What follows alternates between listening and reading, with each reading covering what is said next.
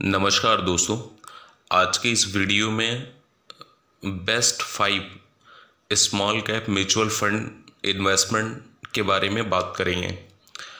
आज के समय में देखा जाए तो म्यूचुअल फंड्स के आपको कई प्रकार की कैटेगरी देखने को मिल सकती है, जिसमें आप अपनी रिस्क, कैपेसिटी और लक्ष्य को ध्यान में रखकर निवेश शुरू कर सकते हैं।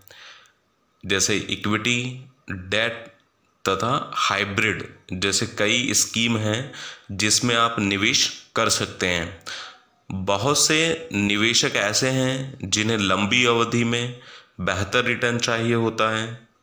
तो दोस्तों, अगर आपको भी लंबी अवधि में बेहतर रिटर्न चाहिए तो आप स्मॉल कैप फंड का चुनाव कर सकते हैं।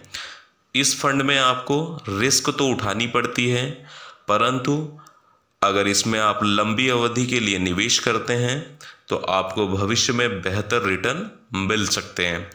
छोटी अवधि में यदि आप निवेश करते हैं तो यह आपके लिए रिस्की हो सकता है, क्योंकि इस फंड में निवेश आप लंबी अवधि के लिए ही करें। तो दोस्तों, अगर आप इस चैनल पर अभी नए हैं तो चैनल को सब्सक्राइब कर लें, क्योंकि इस चैनल पर आपको फाइनेंस, इंश्योरेंस और इन्वेस्टमेंट से रिलेटेड ही वीडियोस देखने को मिलती हैं।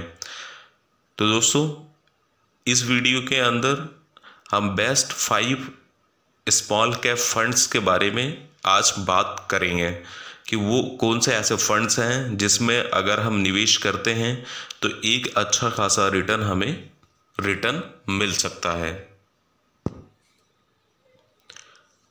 तो दोस्तों, ये पाँचों फंड के बारे में बताने से पहले मैं आपको एक चीज़ बता दूँ कि स्मॉल कैप फंड्स ऐसे फंड्स होते हैं जिसके अंदर फंड मैनेजर ऐसी कंपनियों में निवेश करते हैं जिनका कैपिटल पाँच हज़ार करोड़ रुपए तक होते हैं, ताकि जो कंपनियाँ मार्केट में अभी नई हैं और भविष्य में उनका ग्रोथ बड़ी तेज़ी से हो जिससे कि अगर आप ऐसी कंपनियों में अपना पैसा लगाते हैं तो आपको एक अच्छा खासा रिटर्न मिल सके। लेकिन इसके अंदर रिस्क भी काफ़ी ज़्यादा होती है, क्योंकि ये नए बिज़नेस और नई कंपनियाँ होने के कारण उसमें कंपनियों को डूबने और उनका बिज़नेस ग्रोथ फेल होने का भी डर रहता है, जिसमें निवेशक को अधिक जोखिम के साथ बेहतर रिटर्न मिलेंगे। उसमें एक रिटर्न के साथ साथ आपको एक जोखिम भी रहता है। दोस्तों स्मॉल कैप फंड में कांट स्मॉल कैप फंड अच्छा रिटर्न्स दे रहा है। मार्च 2023 तक पिछले तीन साल का औसतन 71 प्रतिशत से अधिक का रिटर्न दिया है। अगर आपने तीन साल पहले इस फंड में दस हज़ार रुपये का निवेश करते हैं तो आज इसकी वैल्यू लगभग पचास हज़ार तीन सौ अट्ठावन रुपये के आसपास होती। इस फंड में यदि आप एक मुश्त निवेश करना चाहते हैं तो कम से कम आपको पाँच हज़ार रुपये का निवेश करना होगा। वहीं यदि आप इस फंड में एसआईपी के ज़रिए अपना निवेश करना चाहते हैं तो मिनिमम एक हज़ार रुपये से आप इसमें निवेश कर सकते हैं। तो कांट स्मॉल कैप फंड एक स्मॉल कैप फंड है और इसके अच्छे खासे रिटर्न्स अभी तक दे रहा है। Second Nippon India small cap fund इस फंड में मार्च 2023 तक तीन साल के औसत रिटर्न्स की अगर बात करें तो लगभग 53 परसेंट के आसपास इसका रिटर्न रहा है। अगर तीन साल पहले इस फंड में दस हज़ार रुपये का निवेश किया होता तो आज इसकी वैल्यू लगभग पैंतीस हज़ार आठ सौ पचास रुपये के आसपास होती। इसमें निवेश की बात करें तो आप मिनिमम पाँच हज़ार रुपये एक मुश्त डाल सकते हैं। और वहीं अगर आप एसआईपी के माध्यम से आप इसमें निवेश करना चाहते हैं तो मिनिमम पाँच सौ रुपये मासिक से आप एसआईपी स्टार्ट कर सकते हैं इस फंड में। थर्ड है Tata small cap fund. Tata small cap fund एक बेहतरीन म्यूचुअल फंड है और इस फंड में पिछले तीन सालों का रिटर्न जो है औसतन 46 परसेंट का रहा है और इससे अधिक का भी रिटर्न इसने दिया है। अगर आपने इसमें तीन साल, पहले दस हज़ार रुपये का यदि निवेश तीन साल के लिए किए होते तो लगभग उसका आज वैल्यू इकतीस हज़ार पाँच सौ पचास रुपये के आसपास होती। इस फंड में भी यदि आप एक मुश्त निवेश करना चाहते हैं तो कम से कम पाँच हज़ार रुपये का निवेश आपको शुरुआती तौर पे करना होगा। और अगर आप एसआईपी इस फंड का करना चाहते हैं तो मिनिमम पाँच सौ रुपये मासिक से आप इसमें स्टार्ट कर सकते हैं।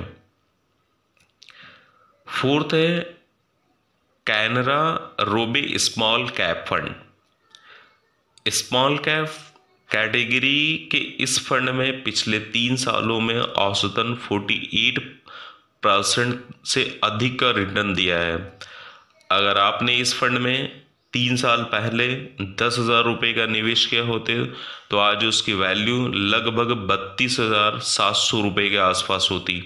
इस फंड में आप मिनिमम निवेश पाँच हज़ार रुपये एक मुश्त और पाँच सौ रुपये का एक एस आई पी स्टार्ट कर सकते हैं।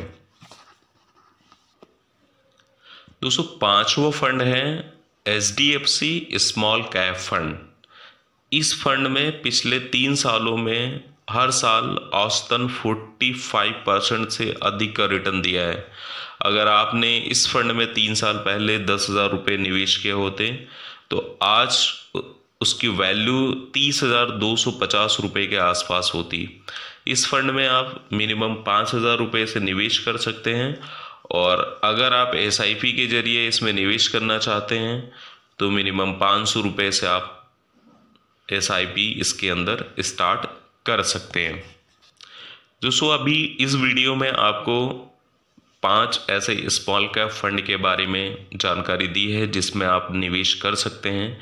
लेकिन इसके बाद, दोस्तों, जब भी आप इसमें निवेश करना चाहते हैं तो ये जोखिम भरा निवेश होगा।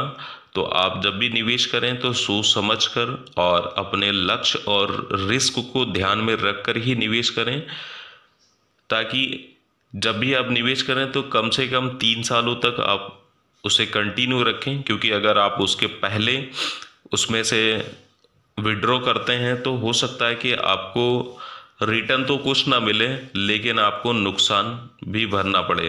तो आप जब भी ऐसे फंड में निवेश करें तो कम से कम लॉन्ग टर्म के हिसाब से प्लान करके निवेश करने स्टार्ट करें दस साल, पंद्रह साल, जब आपको एक अच्छा खासा रिटर्न ऐसे फंड के अंदर आपको मिलेगा। तो दोस्तों, ये वीडियो आपको कैसे लगी, आप उसे कमेंट करके बताएँ, साथ ही इसे ज़्यादा से ज़्यादा लोगों के साथ में शेयर करें, ताकि उन्हें भी ऐसे फंड्स के बारे में जानकारी मिल सके।